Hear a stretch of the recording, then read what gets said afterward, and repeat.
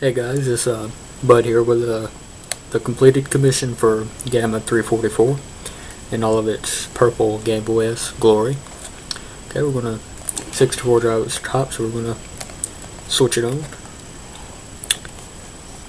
As you can see, I have a background on mine, which means that there is an expansion pack in there. Let's get it to focus, and we will go play Super Mario. That's a good game to show all the buttons working. Oops, done past it. Excuse me.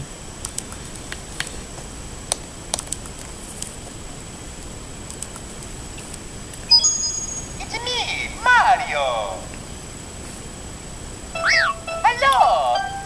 Alright, as you may be able to see that uh, the image is really nice, bright, and crisp. That's because I use shielded cable for all the connections, which reduces any interference. It's the volume control over here. Start button right above it. Okay. Mario can run around and do his Mario thing. Jump. Kick. Punch. And uh, R button changes the camera.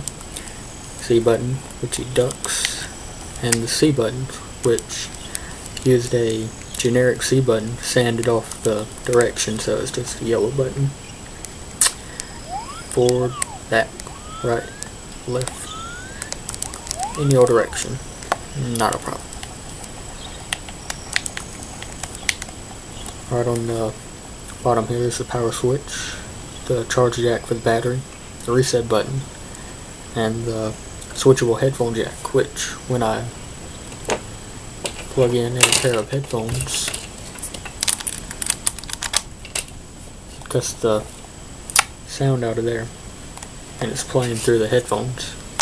Take it out, starts playing again. Okay, show the reset button working.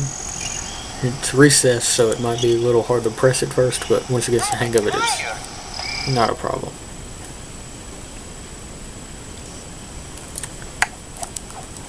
Okay, let's go to Super Smash so I can show you the second player port working.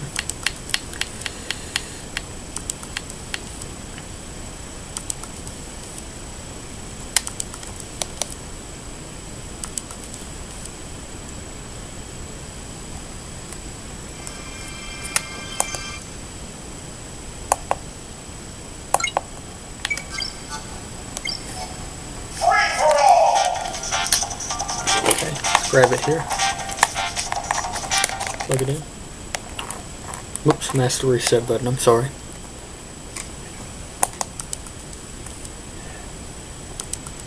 No matter, just press start and it goes back to the previous state. All. Says second player there. A little difficult to pull out, but pull it out, goes away.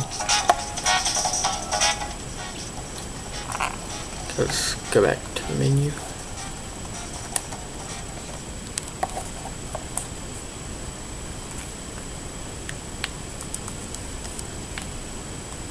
I guess I could boot up an expansion pack game just to further prove that it's in there. Donkey Kong 64.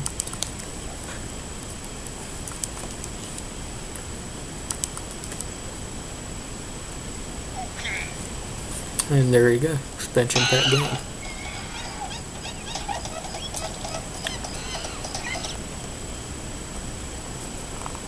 Okay, I'm gonna pick up the camera and I'm gonna show you that uh,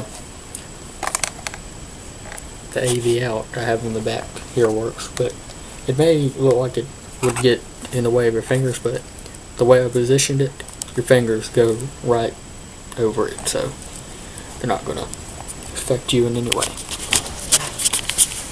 What else you can see over there is the CRT.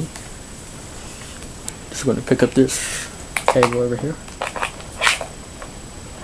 Plug in the video. Reset it. There you go. Got video here. And video there. Alright, well. Hope I've proved everything working in this video and hopefully my buyer will be satisfied when he gets it because It's a really nice unit. It's got batteries, a nice size, nice weight, and it's really fun to play. Alright, thanks for watching.